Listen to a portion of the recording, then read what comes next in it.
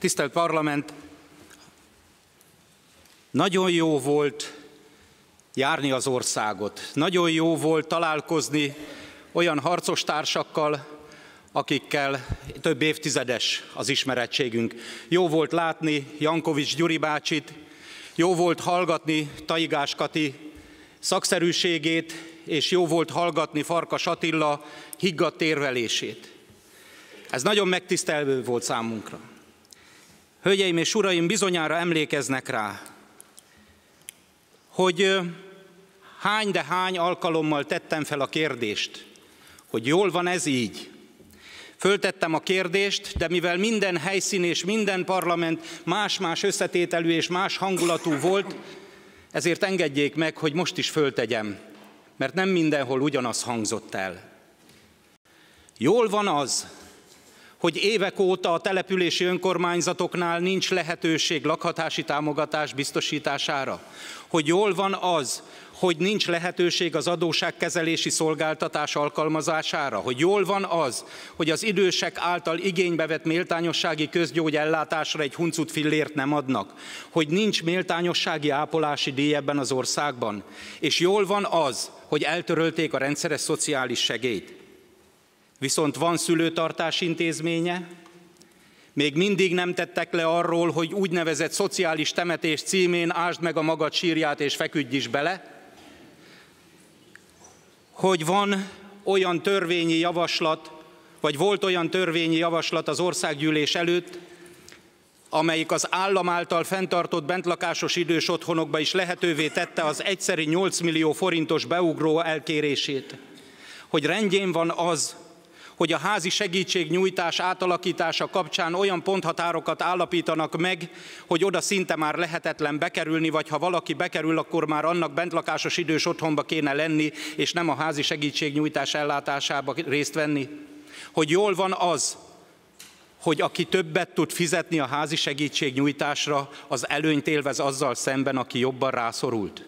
És tettem föl számtalanszor a kérdést, és azt mondtam, hogy hallassák önök is a hangjukat. Hallassák a hangjukat, ne csak itt a parlament épületébe, ha kell, hallassák a hangjukat a Sándor palotánál, hallassák a hangjukat Brüsszelben, és persze még itt is, mert a szomszédteremben éppen most zajlik a 2018-as költségvetés általános vitája.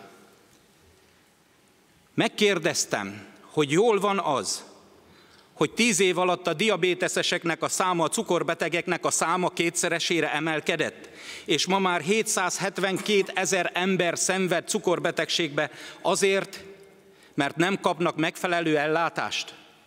Az azért, mert szegények és nem tudnak korszerű táplálékot magukhoz venni, hogy rendjén van az, hogy csak és kizárólag cukorbetegségben naponta kilenc ember hal meg. Hogy jól van az, hogy az Európai Unió tagállamai között a tüdő és vastagbél rákban Magyarország a legés legutolsó a rangsorban, hogy rendjén van az, hogy az idős ellátásban a bentlakásos idős otthonok esetében több mint 28 ezren állnak sorba azért, mert nincs férőhely, elegendő férőhely. Hogy rendjén van az, hogy megnéztem az első negyedévi szociológiai fogalmat fogok önöknek említeni, az úgynevezett természetes fogyás léptékét, és az látszik, hogy 67%-os növekedés van benne, hogy soha annyi ember nem halt meg ebben az országban, mint az év első negyedévében. Döbbenetes. Döbbenetes, és feltettem a kérdést az országjárás kapcsán, hogy jól van az, hogy évekkel ezelőtt eltörölte az Orbán kormány a járulékplafont, és ezzel megteremtette a lehetőségét annak, hogy több millió forintos nyugdíjak is vannak az országban, miközben kilenc éve nem emelkedett egy huncut fillérel se, ahogy mondta Botka László, az öregségi nyugdíj minimum összege. És tettem föl a kérdést, hogy jól van az, hogy több mint 70 ezer embernek kevesebb az öregségi nyugdíja, mint 50 ezer forint. És jól van az, hogy közel 350 ezer embernek az mindennemű ellátást figyelembe véve kevesebb a járadósága, mint 50 ezer forint.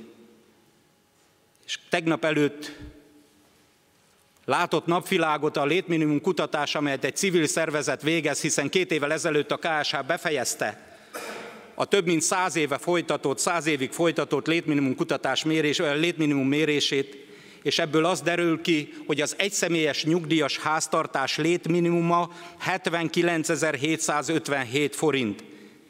És nem kell fejszámolónak lenni, ebből kiderül, hogy ma Magyarországon 1 millió 40 ezer nyugdíjas a létminimum alatt él.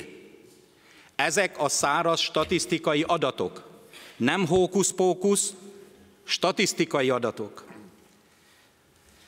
Arra szeretném önöket kérni befejezésképpen, mondják el itt a véleményüket, mi pedig végig gondoljuk, hogy mit kell csinálni az elkövetkezendő egy évben, és végig gondoljuk azt, hogy mit fogunk tenni akkor, hogyha az önök bizalmából kormányra kerülünk, de addig is. A parlament tavaszi ülésszakából hátra van még egy hónap, ha jól tudom, elnök úr. Jó. Most arra szeretném önöket kérni, hiszen itt közel 400 ember van jelen, hogy a szocialista frakció a mai nap folyamán parlamenti vitanapot kezdeményez ott a másik házban a nyugdíjasok helyzetéről.